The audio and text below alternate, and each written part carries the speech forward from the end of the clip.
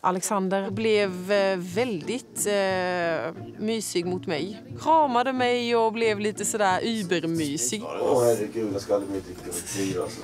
Fuck. Han är ständigt sugen och det är jag medveten om. Men eh, han är bara väldigt, han är bara väldigt, väldigt, väldigt charmig. Men eh, nej, jag vet inte. Vi får se. Sov lugnt.